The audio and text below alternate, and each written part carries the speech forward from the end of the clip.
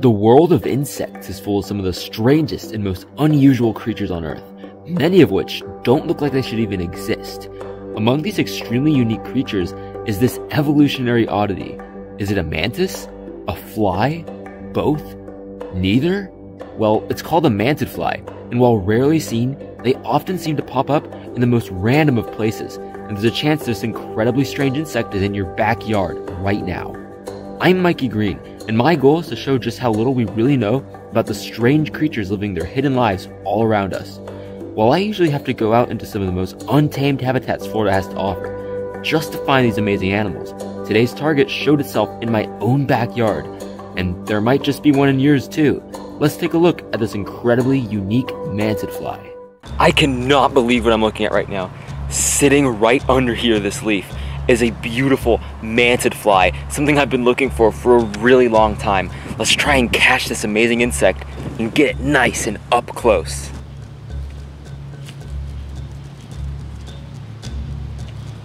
Yes. Yes. Look at that in there. Let's take a good look at this beautiful insect. All right, this what I have in this tube right here is one of the strangest insects in the entire world and one I have been wanting to feature on this channel for years. This is the mantid fly. Specifically, this species is the four-spotted mantid fly, which I could tell by looking at the margins of those wings, seeing four black spots along those margins of the wings. Now looking at this creature, this very strange looking creature, I can see why you might think at first that this is a praying mantis, a small species of mantis they have those two raptorial forelegs at the front that they can use to grasp things, a very long neck, and a triangular face with large eyes, as well as the fact that they stand tall walking on those four back legs.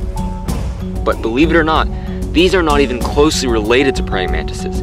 These are in a group called the Neuroptera, which contains the lacewings, the antlions, the owlflies, and other related insects. And looking at the overall body shape, face shape, and the wing venation, this is very similar to a green lacewing, with the obvious difference, of course, of those raptorial forelegs.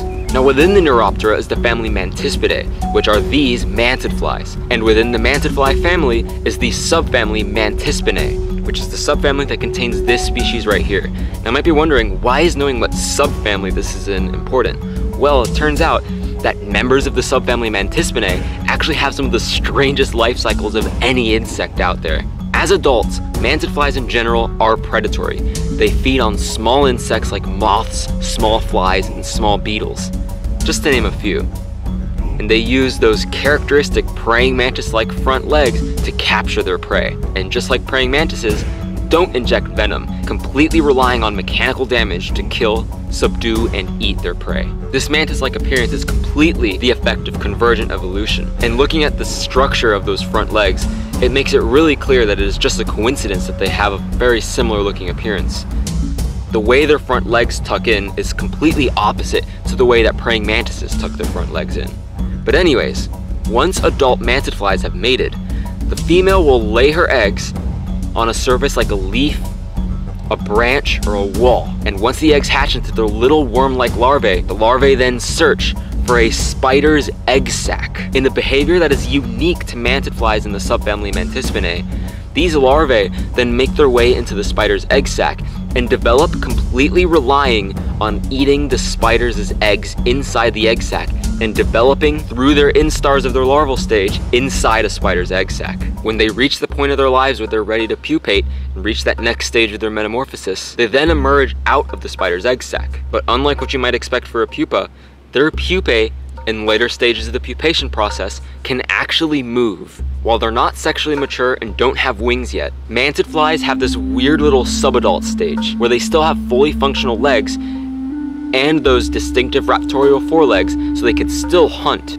For that brief period of time, I believe only a few hours, in that in-between stage between the pupa and the adult, where then a winged adult then emerges out of that pupa and the life cycle starts over once again. This is called hypermetamorphosis, which is when a metamorphosis of an insect has more than two or three stages like most insects do. Most insects simply only have a nymph and an adult stage, or a larva, pupa, and adult stage. But think of that weird little subadult stage like if a butterfly's chrysalis grew legs in a proboscis and was able to walk around sucking nectar out of flowers, but didn't have wings or was sexually mature yet.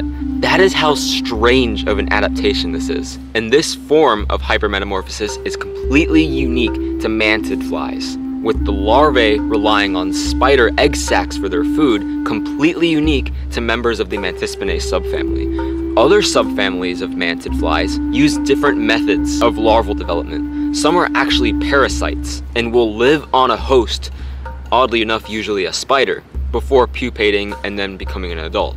If you look past their almost menacing alien-like appearance and their very strange life cycle, these things are actually extremely beneficial creatures to have around. And seeing one of these in your backyard is actually a really good sign. Mantid flies are quite rare to come across, especially down here in South Florida where I am right now. I have never been up close with a mantid fly and have never seen this specific species of mantid fly in my entire life. And these mantid flies are great predators to have around to keep populations of insects that might be considered pests in your garden to a minimum. And if you're arachnophobic, you'd especially love these mantid flies' tendency to be parasitic towards spiders during their larval stage. Whether they live inside the spider's egg sac and eating the eggs, or whether they live inside the spider itself, these mantid flies seem to have something against spiders, not sure what it is. But These things are great predators for garden pests and just a great sign of native biodiversity, even in your own backyard. Man, I cannot get over finally being able to get up close with one of these gorgeous mantid flies. I have been wanting to do this for so long and it feels so good to finally have one right here with me but I feel like we've had enough time with this absolutely incredible insect predator, one of the most unique animals in the entire world, but it's time to let it go right back into the environment so I could get back to hunting insects. Just an incredible little insect. And if you enjoyed learning about this creature that looks like some weird hybrid created in a lab, then you'll enjoy this video right here, where we find scorpion flies, which are arguably even stranger because they look like if you took a fly and a scorpion and just mashed it together. But I promise, there's something even stranger. Enjoy and see you there.